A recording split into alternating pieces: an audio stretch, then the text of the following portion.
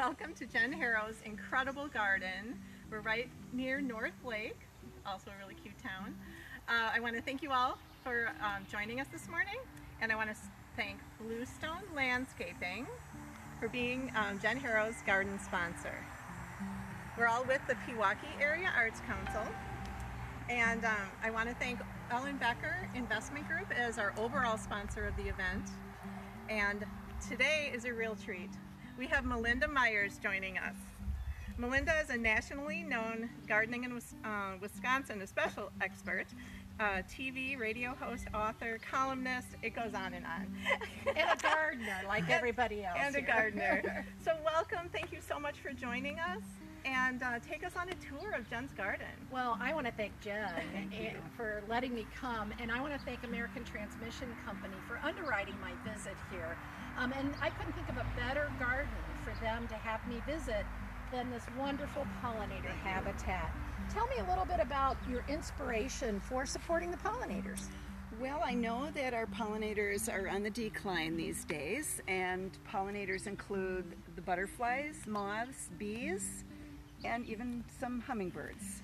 So um, my inspiration really is to create a little biodiversity on my property and enjoy the flowers along the way. So this garden feeds the pollinators and even actually the Asclepias over there, the pink Asclepias, you can see a little monarch is on there now. They also lay their eggs on that um, plant. So, um, so yeah, I guess that was my inspiration and and you've um, done a great job. I love all your zinnias. Um, one of the programs American Transmission Company does that I work with them is Grow Smart to bring pollinators in with pollinator friendly plants, natives and non natives. And uh, you started these from seed? I did. I start all my um, annuals from seed, and it, it's uh, really a fun thing to do. Like toward the end of March, I start them because I have an unheated space, but um, we put all the seedlings on, on heat mats so um, it's fun to see them come up. And I think it gets your green thumb warmed up for the season. Being in Wisconsin, we can't yes. wait to get started. And it's a great way to extend your budget as well. Mm-hmm. You know, you can then spend more money on your perennials. And I noticed you mentioned the swamp milkweed, and that monarch came in on cue. Isn't she beautiful? Yes, excellent. And I know this isn't just to keep me out of the garden.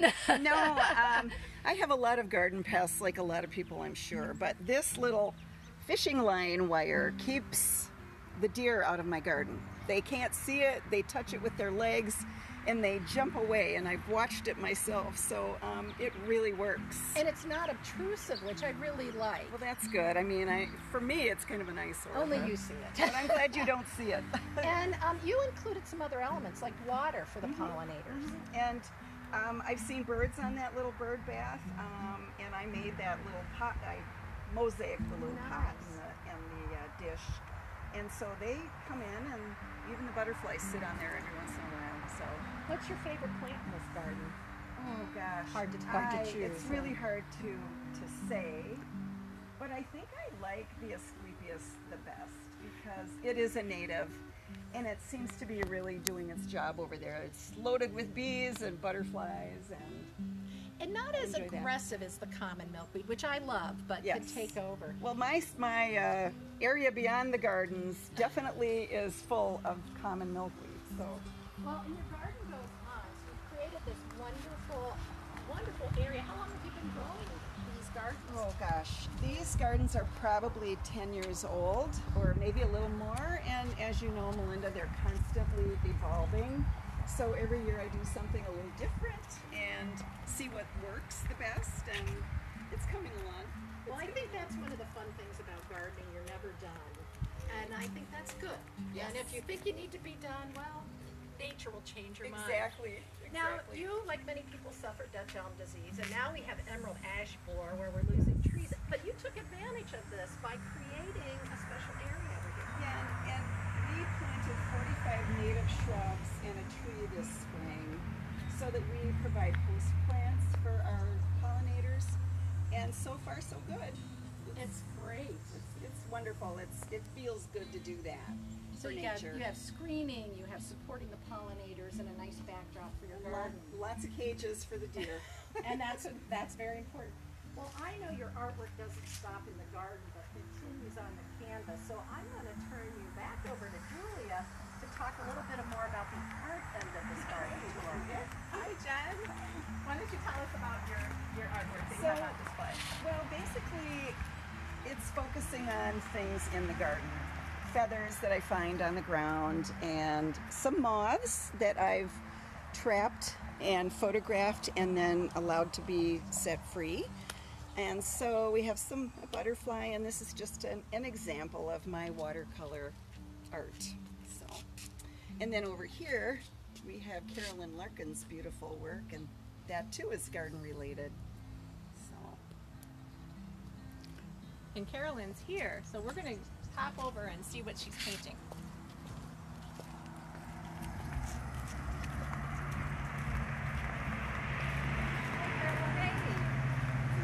Larkin. She's a member of the Area Arts Council as well.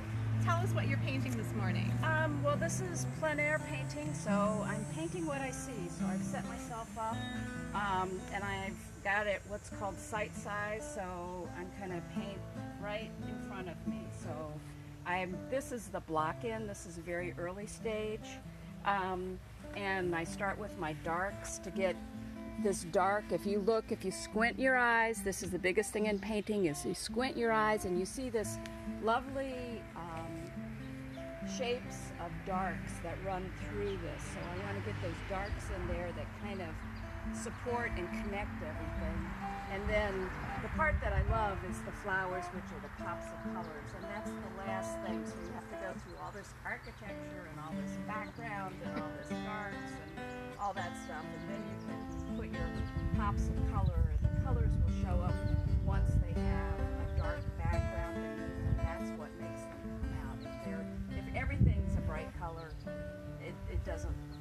show up. So so that is my plan. Um, this is my easel, which is all comes down. This is an umbrella that I use to shade my um, palette because if you've got direct sunlight on here, when you bring it inside, it just is not the same color because it's never as bright inside as it is outside.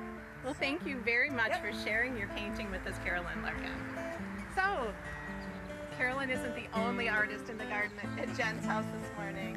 We also have Linda, Linda Kowaleski, and she's playing guitar for us.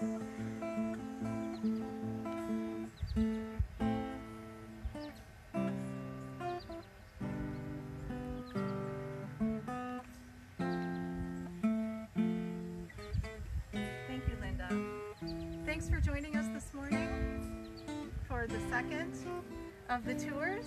We have one more to go, um, and that's in Sussex, and it's at my house. So I will see you all in an hour or so as we do our final uh, Facebook Live from the Art and Garden Tour virtual. Thank you.